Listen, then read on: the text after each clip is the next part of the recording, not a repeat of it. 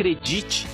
Paulo Roberto está aí para provar que a hora sempre chega. Ele falou que eu precisava ser forte naqueles minutos que eu entraria ali e que precisava que eu fosse forte domingo também que eu ia jogar. Pô, jogar uma final de um paulista, cara, é...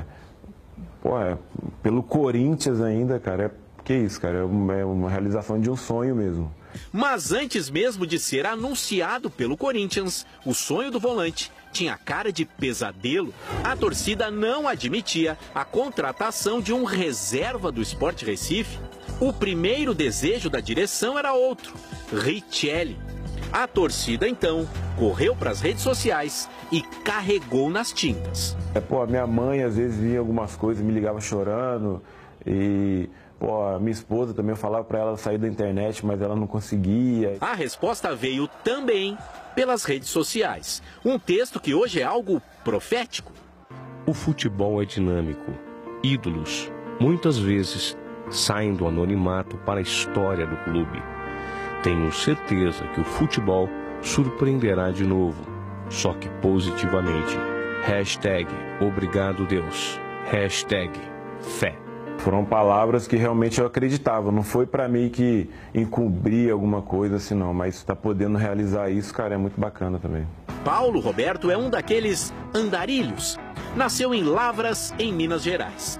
Aí foi para Farroupilha, no Rio Grande do Sul, depois São Paulo, Campinas, Florianópolis, Curitiba, Salvador, Recife e agora São Paulo de novo.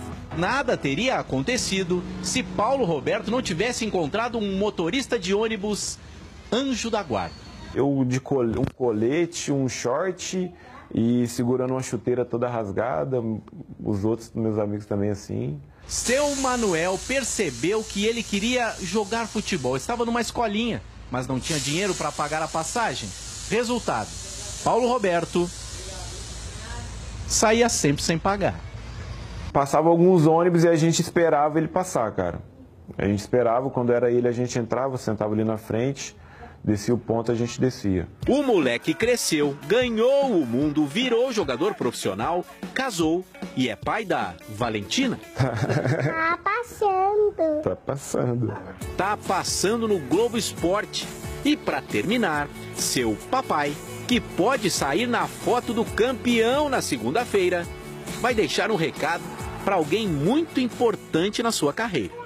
Seu Manuel, eu não sei onde você está agora, a gente perdeu contato, mas eu quero lhe agradecer por todos os dias que você me fez não perder o treino. Tomara que o seu Manuel esteja assistindo ao Globo Esporte, né?